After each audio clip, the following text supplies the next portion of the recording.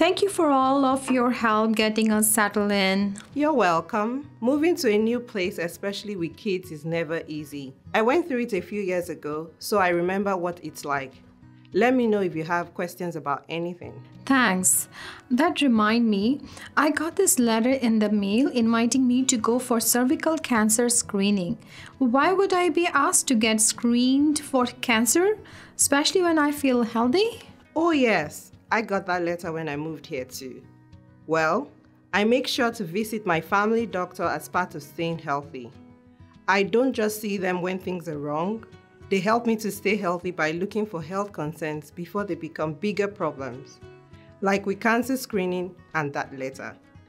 Cancer screening means checking for early signs of cancer in people who feel healthy.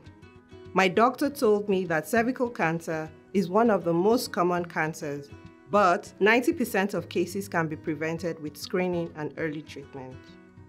While we're between the ages of 25 and 69, it's recommended that we get screened for cervical cancer every three years, unless your doctor tells you something different. If you feel healthy or don't have any symptoms, it's still important to get screened. Do you do it? And how do they screen of uh, cervical cancer? Yes, I do. Because it's safe, free, and confidential. Here in Alberta, it's recommended that we get screened for cervical cancer by getting a pap test. It checks the cells of your cervix to make sure there are no changes.